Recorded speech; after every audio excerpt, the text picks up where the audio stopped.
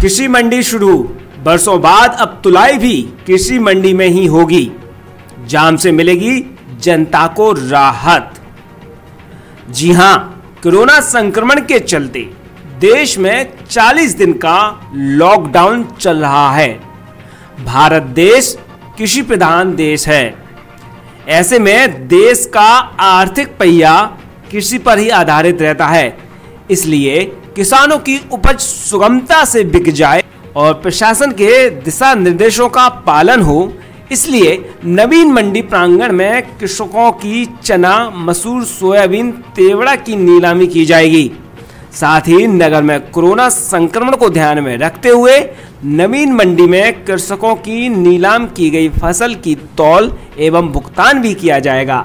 इस निर्णय से नगर की जनता को जाम से राहत मिलेगी। इस विषय में अनाज तिलहन व्यापार संघ के अध्यक्ष शिव शरण सिंह रघुवंशी ने बताया कि प्रशासन के दिशा निर्देशों के आधार पर एवं कृषकों को कोई असुविधा न हो, इसलिए आज से नीलामी शुरू हुई है। इस विषय में किसी उपज मंडी समिति के सचिव अरविंद ताम्रकार का कहना है कि सोशल डिस्टेंस को ध्यान में रखते हुए नीलामी शुरू की गई है। तौल के विषय में सचिव ने कहा है कि अभी यह अस्थायी व्यवस्था शुरू की है।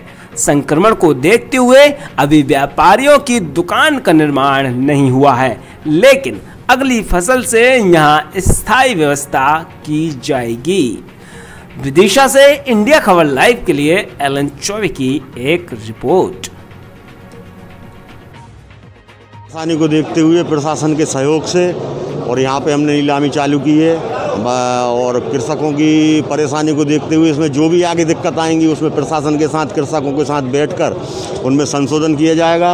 और व्यापारी हमेशा तत्पर है कृषक की उसकी समस्या के लिए। आज से शुरुआत की है हो सकता है थोड़ी परेशानियाँ आएँ। अभी उनको जो नीलामी चबूतरे हैं उनको अपन ने दे दिए हैं वो अपने फ्लैक्स लगाएँगे तलाई करेंगे।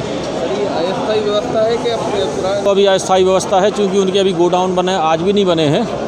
इसलिए ये इस वायरस के समाज से निकलने के लिए व्यवस्था की गई है शासन द्वारा कि किसानों को उचित मूल्य मिल सके। सर ये बहुत पुरानी समस्या साल पहले मंडी है काफ़ी व्यापारियों द्वारा ये बताया गया है कि हम बहुत जल्दी ही अपने निर्माण चालू कर रहे हैं ताकि खरीफ सीज़न में सोयाबीन के सीज़न में यहीं उनकी नीलामी हो सके यहीं तोल हो सके यहीं भुगतान हो सके।